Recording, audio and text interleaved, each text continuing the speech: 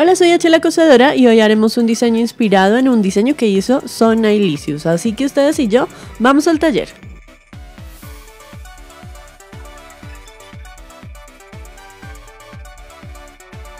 A mí ella me parece genial, me encantan todos sus diseños y por eso quise hacer una recreación de uno de ellos y además es una aplicación a una de las técnicas que ya habíamos visto en mi canal y es el dry brush. Si no conoces esta técnica te invito a ver, te dejo un link para que vayas a conocer esta técnica. Los colores que ella escogió son el blanco, el naranja, un coral y un nude.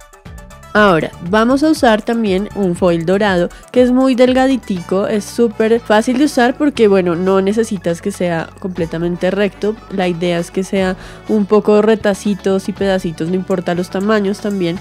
Pero bueno, no en el caso de manipularlo no es tan fácil, debes usar unas pincitas y bueno, paciencia. Sobre las uñas que tienen los brochazos vamos a poner varios eh, trocitos pequeñitos. Este tipo de foil lo consiguen en tiendas especializadas de uñas. Yo no lo, yo no lo tengo, yo realmente lo compré en Chromantic, pero si no tienes uno cerca seguro donde vendan elementos para decoración de uñas vas a encontrarlo.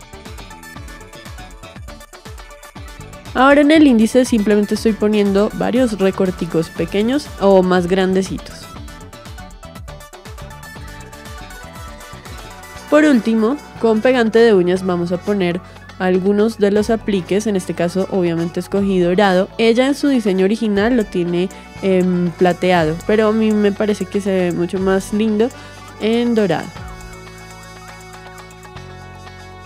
Y aquí está el diseño, realmente súper sencillo, un poco abstracto y diferente, pero bueno, tenemos que probar de todo. Así que espero les haya gustado muchísimo, aquí está el resultado, déjenme en los comentarios si les gusta ver recreaciones de otras artistas. No se les olvide activar la campanita de notificaciones para que no se pierdan ningún video, también ver el video anterior y seguirme en todas las redes sociales. Les mando besos y abrazos al por mayor y nos vemos en el próximo video. Chao.